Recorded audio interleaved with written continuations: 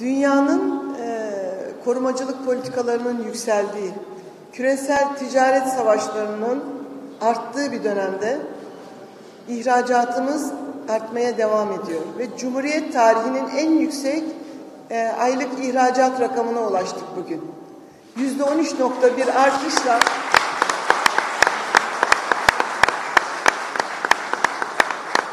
...15 milyar 732 milyon dolarlık ihracat gerçekleştirdik.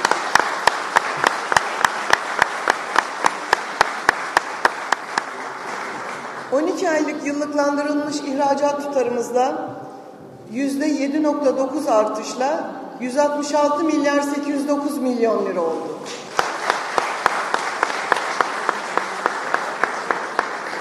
Bu da Cumhuriyet tarihimizin en yüksek ihracat rakamı. Yine Ekim ayında ithalatımız yüzde 23,5 düşüşle 16 milyar 261 milyon lira oldu.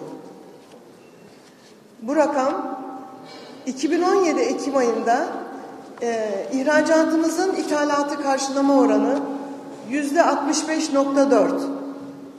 Bugün Ekim ayı itibariyle ihracatımızın ithalatı karşılama oranı yüzde 96.7.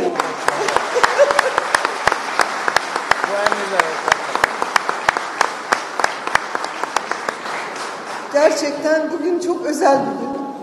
Çok güzel bir gün. Çok güzel rakamları, bir sevinci paylaşıyoruz inşallah Adana'mızda ve inşallah bunun devamı da gelecek.